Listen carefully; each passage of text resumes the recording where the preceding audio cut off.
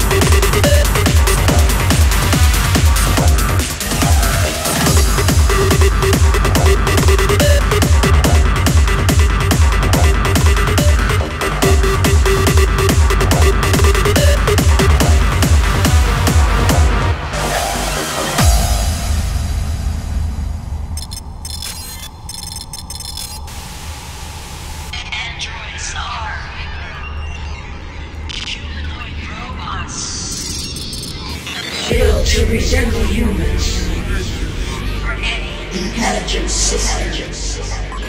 Limited capacities makes emotional necessary for its man